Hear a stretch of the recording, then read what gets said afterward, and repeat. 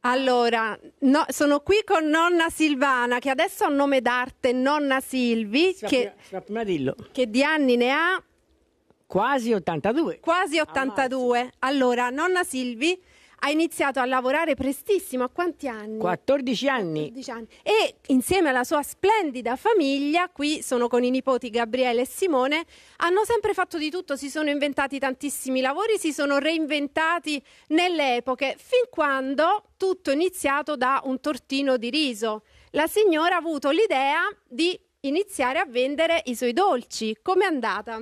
È andata e mio figlio ha, messo una bottega a Castel Fiorentino e si vendeva poco o nulla. Ma io sapevo fare poco, ma cominciavo a fare questi tortini di riso e vedevo che andavano via. Tutti i giorni allora mettevo a casa a fare i tortini di riso e glieli mandavo a bottega.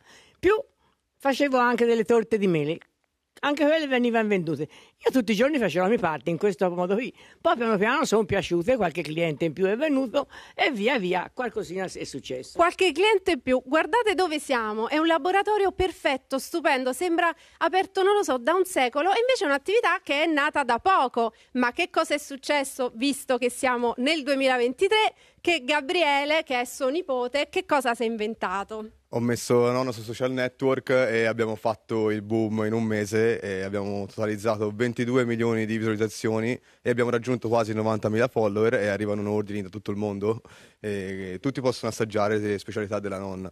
Tutti cercano nonna Silvi, le vogliono un bene dell'anima perché? Perché lei è una donna splendida e oltre a raccontare, no, no, i segreti non li racconta, però racconta un po' di quello che le è capitato No nella dicevo, vita. no, dicevo che è splendida, no? Io dicevo splendida, no? I segreti non li racconto, ha ragione. Che segreti devo raccontare? La pasta frolla, Io l'ho già detto la pasta frolla. eh? L'ingrediente segreto lo possiamo sapere. L'ova fresche. L'ova fresche. che be- fresche. Questo li fa tutte lei, si sveglia tutte le mattine alle 6. Alle 6, ma un po' mi, ci de- mi devo mettere un po' il rossetto, non me lo sono messo, mi devo sistemare un pochino, per le 7 sono pronta. E lavora qui tutto il giorno quindi, insieme ai figli, capire. insieme ai nipoti. Quindi fammi E meno capire, male, Daniela. Che ci fa a casa, Sì. sola sola? Eh, Che c'ha, ragione. Io sto Silvana, bene lì, almeno pronto qualche d'uno, qualcosa fa.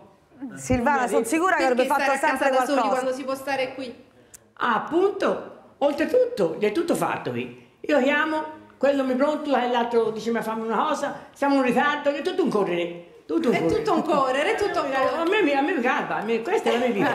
Se me la levano mi ammazzano. No, Dice, no, ma no, e a chi gliela vuole levare? Signora- ci vuoi a casa io? Io vorrei sapere quanti vecchietti della mia età che non sono considerati. Aspetti che Serena le vuole fare una domanda. No, la volevo salutare Silvana, nessuno le leva nessuno, Via. anzi noi la ringraziamo, eh, ma non ho capito, lei il rossetto se lo mette per i video perché non l'aveva mai messo in vita sua? No. Lei mette il rossetto per i video che le fa Il Gabriele. rossetto non ho mai, non so cosa voglia dire. Io non so cosa voglia dire. Mai truccata, sarebbe a vedere.